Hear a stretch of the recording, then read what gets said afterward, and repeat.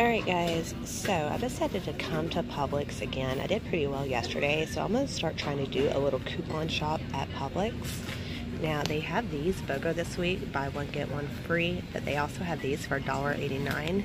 They have a dollar and a half off coupon to make one of these 39 cents, and I think the other ones will be 40 cents a piece. That'll be pretty nice. I've already got two in my bag. Oh yeah, and $5 sushi. Another pretty awesome deal we have is BOGO on the soft scrub. The cheapest one is $3.29. And then we have $1 off and buy one get one free coupons. If you're in a true BOGO area, both of these will be free. If not, you're going to pay about 65 cents each. Um, so yeah, it's a pretty good little deal. So let's see what this all works out to.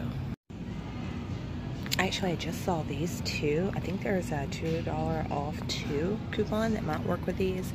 So you would pay like a dollar twenty-nine for both of those. That's not bad at all.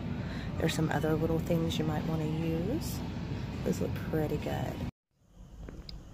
Alright guys, so I also picked up a Nexxus hair care.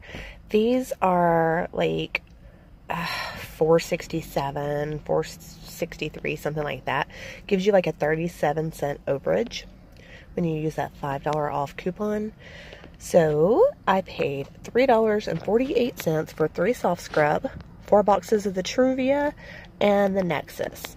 so if you don't live in the true BOGO area um, you're gonna pay I want to say like 65 cents, 70 cents for two of those if you use the BOGO coupon.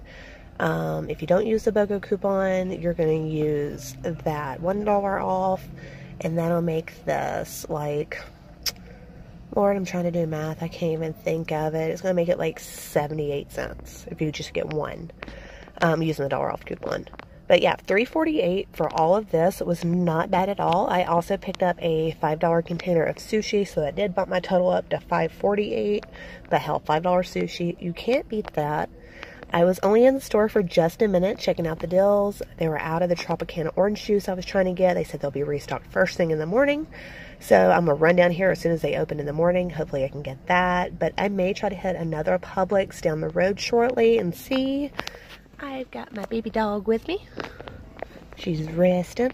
But y'all give me a thumbs up and subscribe. You know, this is the second one of my Publix videos. And if y'all like these, I'll start making more. Bye.